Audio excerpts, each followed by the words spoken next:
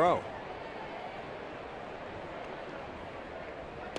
He walked him on four straight, and that's. I'll be really surprised if that's not it.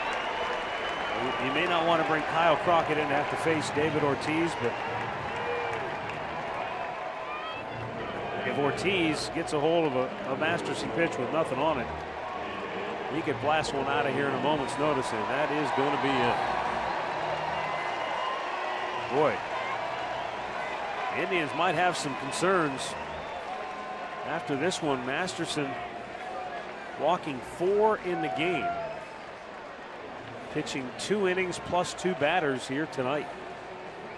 And an early exit for the big right-hander. Cleveland Clinic call to the bullpen will be for left-hander Kyle Crockett when we come back.